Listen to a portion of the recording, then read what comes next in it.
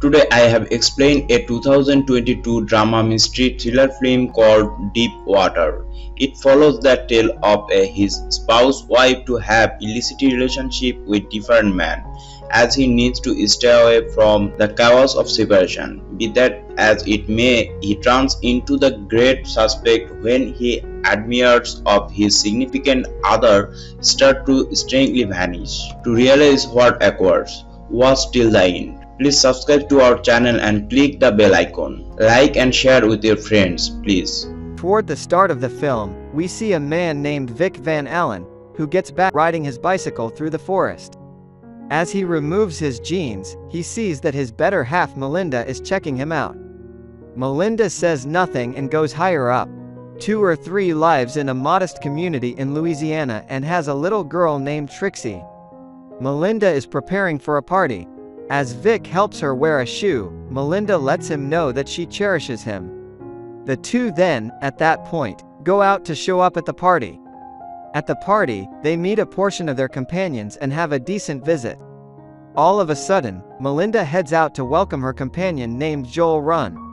She then, at that point, takes him out and goes close to a pool, where she begins kissing him. Incidentally, Joel is Melinda's sweetheart, Vic watches them kissing outside. Melinda sees Vic watching them, yet she doesn't stop and constant kissing Joel. One of Vic's companions sees Melinda and Joel together and communicates her anxiety to Vic that Melinda may not adore him the manner in which he cherishes her. However, Vic just says that it doesn't concern him. In a little while, Melinda becomes inebriated and begins moving on top of a piano. She then, at that point, plays the piano and starts singing. Regardless of her straightforwardly undermining him, Vic grins at Melinda, as though he is alright with this. Afterward, Joel approaches Vic for a talk. Joel expresses gratitude toward Vic for allowing him to see Melinda. Vic nonchalantly inquires as to whether he has caught wind of the secretive vanishing of a man named Martin McCrae, who was likewise one of the admirers of Melinda. Vic then uncovers that he killed Martin with a sledge. Joel believes that Vic is kidding, yet Vic guarantees him that it's anything but a joke. Not long after that, Joel leaves the party. While leaving for home, Melinda inquires as to whether he expressed anything to Joel, yet Vic denies saying anything to him. At home, Vic assists Melinda with taking her garments off. Melinda lets him know that she prefers Joel, as he values her for what her identity is. It is then uncovered that Vic and Melinda have an arrangement, as per which Melinda can get in a relationship with any man she needs since there is no adoration in their marriage any longer. Vic lets her date anybody she needs, as long as she doesn't leave him and Trixie. Vic has consented to her terms since he needs to stay away from the untidiness of separation. The following morning, Vic goes to drop Trixie at her school. While getting back to his vehicle, one of his companions inquires as to whether what he shared with Joel is valid. Vic answers that it was only a joke and that's it. The joke rapidly spreads around the area, and everybody continues to inquire as to whether he, as a matter of fact, did it. In any case, Vic lets them know exactly the same thing that it was only a joke. At home, Melinda irately faces Vic for undermining her sweetheart. Vic apologizes to her and commitments her that it won't ever occur from this point onward. Yet, Melinda believes Vic should apologize to Joel, so she has welcomed him over for supper. At the point when Joel shows up, Vic welcomes him. Joel is still marginally terrified by Vic, however stays composed. While eating, Joel uncovers that he is intending to move throughout the end of the week. Melinda then advises Vic to take care of Trixie, as she needs to invest some energy alone with Joel. Afterward, when Melinda goes to the restroom, Vic stands up to Joel and consoles him that he killed Martin. Vic then calls a Uber and guides Joel to leave right away, by implication compromising him that he might meet a similar destiny as Martin in the event that he doesn't. At some point, the Van Allens hit up a party, where they meet a couple, Ware and Kelly Wilson. Vic later hits the dance floor with Kelly while Melinda watches them. While getting back, Melinda inquires as to whether he found Kelly alluring. Vic answers that he did. Kelly appears to be desirous of this, as she feels that Kelly is more appealing than her. At the point when the two get back, They mate enthusiastically, as they are both turned on. At some point, while at a soccer match for Trixie, Vic gets a call from his bank about an installment made by Melinda to a piano educator named Charlie Delisle. Vic tracks Charlie and follows him to a live show. Vic then discovers that Melinda is seeing Charlie despite his good faith. Sometime thereafter, Vic gets back and sees that Martin's body has been viewed as in the woods. He is represented to have been shot dead. Right when Melinda gets back, Vic illuminates her unsettling Martin. Melinda is aggravated about this data and goes straightforwardly to her room. As days voyage by, Melinda starts effective money management more energy with Charlie, and the two grow closer. Vic is familiar with this and is becoming disturbed. Exactly when Melinda gets back resulting to going during that time with Charlie, Vic resentfully goes facing Melinda and encourages her to stop seeing Charlie. In any case, Melinda rejects, saying that Charlie causes her to feel cherished, which Vic is unequipped for. In spite of the fact that Vic demands that he adores Melinda, it's not the sort of affection Melinda needs. At some point, Vic and Melinda hit up a pool party with their companions, to which Charlie is moreover welcomed. A short time later, Melinda acquaints Charlie with Vic as her piano instructor. Vic imagines that he has barely any insight into their undertaking and maintains an even mind. Soon thereafter, Vic searches for Melinda, who is away for a really long time. Vic goes close to the pool and finds Melinda messing around with Charlie. The two are developing nearer, which makes Vic desirous.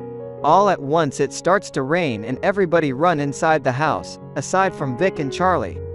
In a little while, Vic strolls in and joins the others. Melinda searches for Charlie, yet can't find him anyplace. She then watches through of the window and is stunned to see Charlie drifting face down in the pool. Every one of the men haul him out of the water and endeavor to revive him. Be that as it may, Ware coincidentally drops Charlie's body, knocking his head against the edge of the pool. They before long understand that Charlie is dead. At the point when the analysts show up, they question every one of the visitors present at the party. Melinda out and out blames Vic for suffocating Charlie, however Vic denies it. Vic is then addressed in private with respect to the allegation by Melinda. Vic says that Charlie was excessively tipsy and was sticking to the profound finish of the pool. The analysts are happy with him and don't get him for additional scrutinizing. The fact that Vic has killed Charlie makes Melinda at this point resolve. So Vic inquires as to whether she is scared of Vic, realizing that he killed Charlie. Melinda answers that she isn't, as she is what Vic killed for. One day while getting back on his bicycle, Vic sees a vehicle following him. Afterward, after Vic drops Trixie at school, Kelly approaches Vic and lets him know that Ware thinks that Vic might have killed Charlie. What's more, Ware and Melinda are hanging out a lot and are concocting weird speculations. Vic educates Kelly that she doesn't need to stress regarding anything and welcomes her and Ware over for supper. Sometime thereafter, Ware and Kelly show up at Vic's home for supper. Vic then, at that point, takes Ware to a confidential spot and advises him to quit let individuals know that he killed Charlie. However, Ware actually thinks Vic's contribution in Charlie's homicide, so he inquires as to whether he will take a falsehood identifier test to demonstrate that he is honest, to which Vic serenely answers yes. At some point, Vic sees the vehicle that has been following him for some time. At the point when he sees through the window, he sees a camera, understanding that he is being followed by a confidential specialist. Vic then sees Melinda eating with the confidential examiner in a close-by coffee shop and goes along with them. Melinda acquaints Vic with the man and lets him know that he is a psychotherapist named David Risigliani. Vic immediately understands that he is the confidential agent recruited by Melinda and Ware. So Vic goes directly to Ware's home and defies him before Kelly and their girl. Vic blames him for recruiting an examiner, yet Ware denies it. So Vic shows him a bank explanation of Melinda, saying that she sent cash to Ware to employ David. At some point, Vic gets Melinda seeing another companion of hers. The man is Melinda's school beau, Tony Cameron. Vic sees that the two are developing nearer, which makes him envious. He has a go at conversing with Melinda about Tony, however Melinda won't converse with him. The following day, Melinda welcomes Tony to their home for supper. Vic is amicable towards Tony, in any event, when Melinda nonchalantly specifies that Tony is the first American she mated with. However, where it counts, Vic is loaded up with rage, which increases when he sees Melinda and Tony playing with one another. The following day, Vic approaches Tony in his Jeep and lets him know that Melinda needs to show him a structure site she has been dealing with. Vic then, at that point, drives him to the forest, where there is no sign, when Vic gets him alone, he tosses a stone at Tony's head. Vic tosses one more stone at him, making him stagger down the precipice and crush his head onto a stone, which kills him immediately. Vic then, at that point, hauls Tony's body and endeavors to conceal the body in the water by tying it with rocks. At some point, Vic takes Melinda and Trixie out for a cookout in the forest. While Trixie is playing, Melinda asks Vic for what valid reason he is the main man who needs to remain with her. Vic answers that he simply cherishes her for what her identity is and won't ever leave her. Vic then gifts her a photograph collection he made for her. The two hug and acknowledge each other for what their identity is. All of a sudden, Trixie goes close to the stream where Vic has suffocated Tony's body. Vic races to get Trixie and sees that Tony's body has started to drift on a superficial level. While getting back, Melinda makes reference to that she abandoned her scarf. So Vic tells her that he will return for it the following day. Soon thereafter, Melinda requests that Vic rest in her room, as she would rather not be distant from everyone else. Melinda communicates that she cherishes Vic. The two then kiss one another and mate enthusiastically. The following morning, Vic takes off to the forest on his bicycle. In the interim, Melinda finds Tony's wallet and understands that Vic has killed Tony. Melinda is crushed by the disclosure that Vic has killed every one of her darlings. So she packs her possessions and chooses to leave Vic for good. At the point when Trixie finds out about this, she tosses the bag in the pool and tells Melinda they are not leaving. Not long after arriving at the stream, Vic endeavors to sink Tony's body further in. All at once, Ware comes there and approaches Vic. Vic attempts to dispose of Ware, however Ware detects Tony's arm drifting. He then, at that point, surges back to his vehicle and drives away. Vic pursues him on his bicycle and pursues a faster route to get Ware. Right when he is going to get Ware, he tumbles off his bicycle before Ware's vehicle. Ware rapidly turns hard to abstain from hitting him however winds up driving his vehicle down a slope what's more, passes on in the wake of crashing his vehicle. In the wake of affirming Ware's demise, Vic gets back on his bicycle and gets back. He sees Melinda sitting on the steps and checking him out. This is the scene from the outset of the film when Vic got back on his bicycle. Melinda lets Vic know that she tracked down Tony's wallet, yet she won't utter a word. A while later, Melinda consumes Tony's ID, proposing that she plans to remain with Vic. So this was the story of Deep Water.